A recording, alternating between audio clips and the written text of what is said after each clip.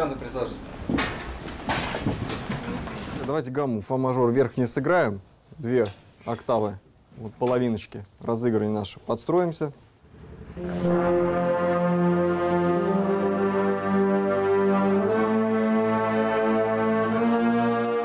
Вот так, с появлением одного человека, дирижера, какофония превращается в стройное звучание. А затем рождается и мелодия.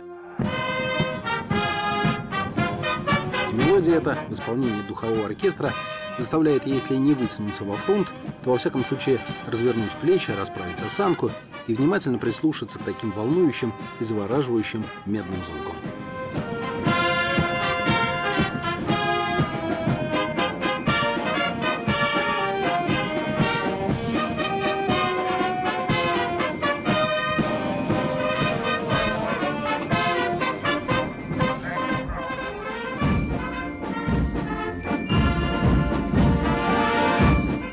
Сводный военный оркестр Вооруженных сил России аналогов в мире не имеет.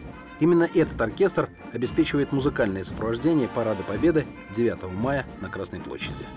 Было и 1500 в юбилейном году, потом было 1200, потом было 1000. В этом году у нас в финале тоже 1000 человек, то есть 1000 трубный. Но в сводном оркестре у нас 800 человек, потому что для того, чтобы акустически все это было так сказать, достойно и ну, логично, достаточно здесь 800 человек. Генерал-лейтенант Халилов, начальник военно-оркестровой службы вооруженных сил, заслуженный деятель искусств и член Союза композиторов России, будет руководить сводным военным оркестром на Параде Победы уже в 11 раз. Это в основном оркестр московского гарнизона по территориальному принципу. И те оркестры, которые участвуют вместе с войсками в военном параде. Например, даже у нас есть Балтики из Калининграда, у нас оркестр есть из Воронежа, ну и так далее. Валерий Михайлович начал сочинять музыку еще в 4 года, а в 11 стал воспитанником Московского военно-музыкального училища, кадеты которого традиционно открывают Парад Победы. Главный военный дирижер говорит, что к этому мероприятию сводный оркестр начинает готовиться не то что заранее, а практически на следующий день после самого парада. 10 мая начинаем готовиться. Ну, это, ну, конечно, совсем, это не совсем так, но в первую очередь мы как бы уже определяем репертуар, это самое главное.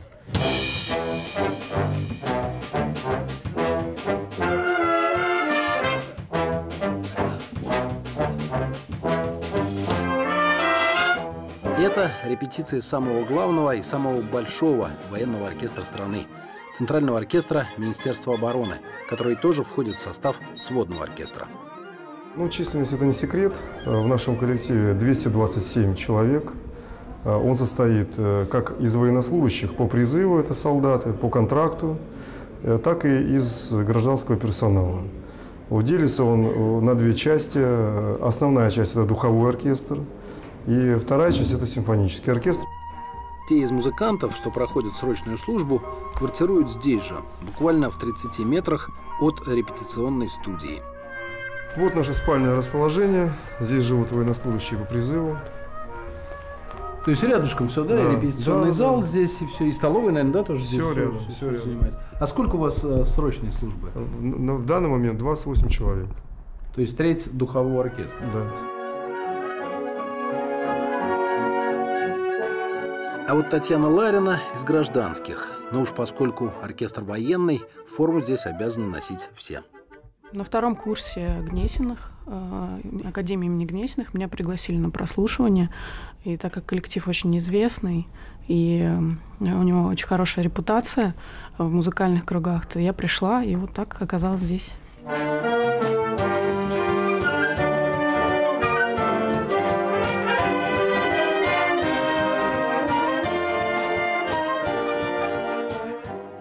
Но музыканты в первую очередь, во вторую все же являются военнослужащими.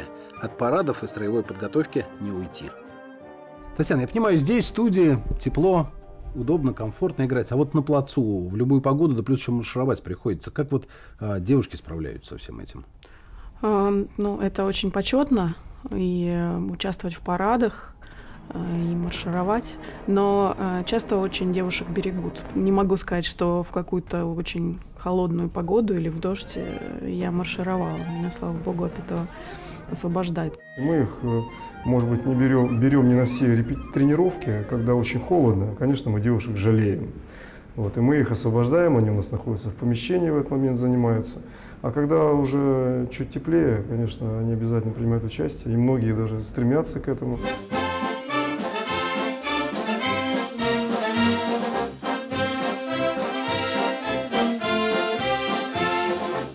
А это военный образцовый оркестр почетного караула. Их главная задача – встреча глав иностранных государств, которые прибывают в нашу страну с официальными визитами. Первое, что видит глава государства, спускаясь с трапа самолета, это оркестр, буквально в трех шагах от трапа, и рота почетного караула, которая встречает в аэропорту. Но это не означает, что в репертуаре оркестра сплошь официальные военные марши. Как и практически все музыканты вооруженных сил, эти ребята много выступают и перед гражданской публикой.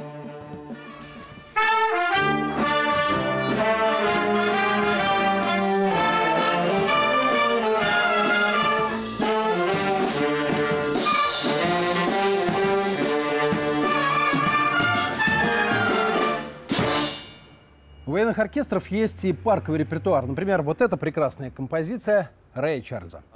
Статус военных вроде бы не ограничивал нас какими-то рамками, все равно у нас наша работа, она довольно-таки широкого спектра. В оркестре готовят себе смену и одновременно дают шанс провинциальным мальчишкам из музыкальных интернатов на благополучное и, главное, интересное будущее.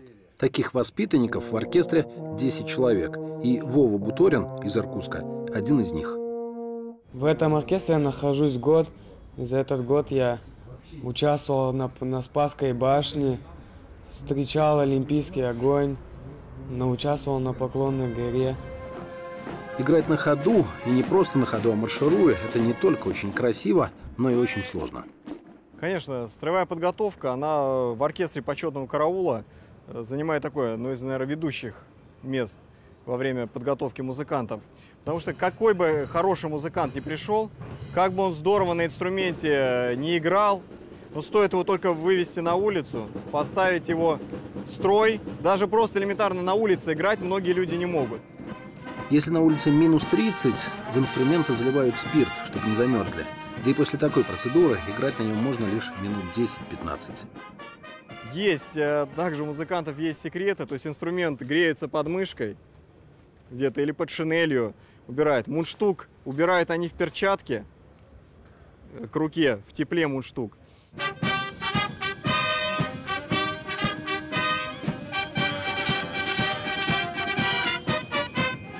Самое, что вспоминается у нас, это в час ночи была объявлена тревога, и полтретьего мы уже летели в Смоленск, летели из Чкаловского аэропорта в Смоленск давать почести президенту Польши Леху Качинскому. Тогда музыканты учили гимн в самолете. Одним словом, работы образцовому оркестру почетного караула хватает и в тревожные, и в праздничные дни.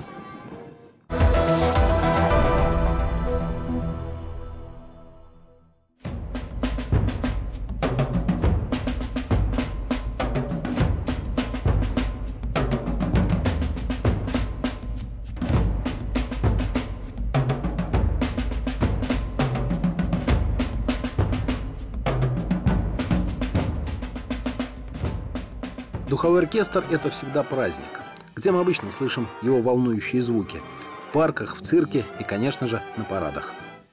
С детства духовые инструменты казались мне какими-то необыкновенными. Ну, например, вот это вот завораживающее возвратно-поступательное движение тромбона.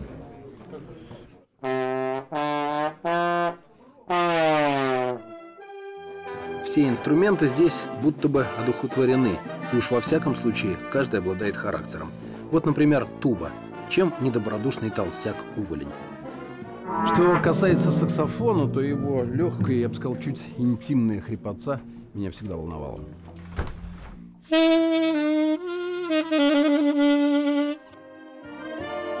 Или кларнет. Это, несомненно, эстет и интеллектуал, а его черный тон чем-то напоминает смокинг.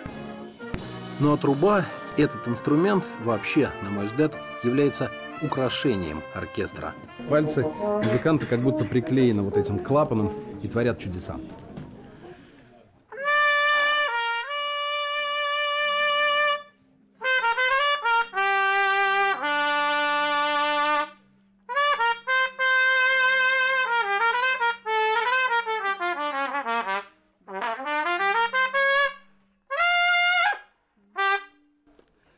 всегда мечтал сыграть эту мелодию. Сводный оркестр во время парада на Красной площади играет порядка 30 произведений, и каждое подобрано очень точно. Это традиционные произведения, которые характеризуют э, виды вооруженных сил. Ну, например, для десантников мы играем э, из кинофильма «Белорусский вокзал». Э, для моряков мы играем, вот в данном случае, в этом году мы прибавили еще Мурадели, есть такая песня «Легендарный Севастополь». Играем Плешака Сергея «Экипаж. Одна семья». Для летчиков Хайта «Все выше» мы играем. Ну и так далее. То есть мы как бы музыкой олицетворяем виды вооруженных сил. Музыканты играют на протяжении 40 минут, и при этом никаких нот. Все произведения выучены наизусть. Это наша культура и наша традиция, которая отличается от э, культуры, так сказать, исполнительской вот западных стран и вообще любых других. Э, ну, очень хоро... я считаю, это очень хорошая традиция. Это позволяет музыканту играть очень уверенно, это позволяет не отвлекать музыканта и не отвлекаться на перелистывание страниц.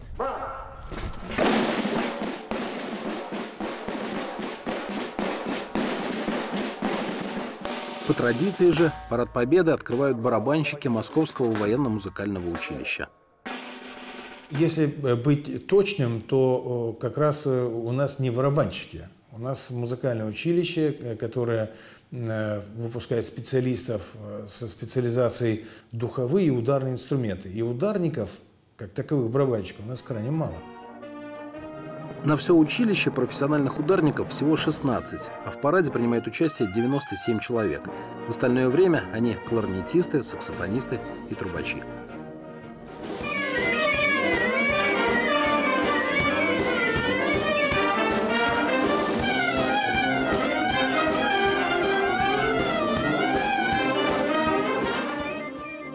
Но в преддверии Дня Победы здесь главенствует малый ротный барабан.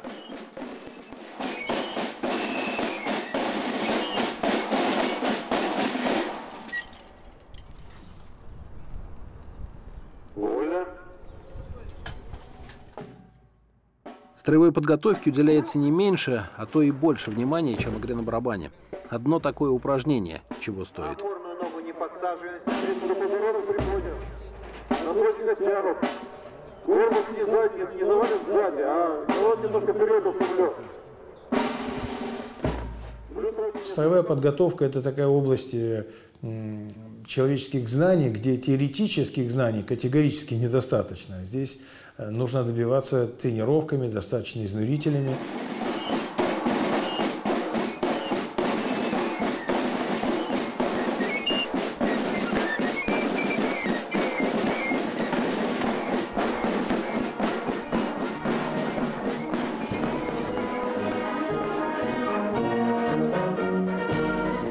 когда слышишь духовой оркестр, особенно мелодии военных лет, по спине ползут мурашки, а на глаза наворачиваются слезы.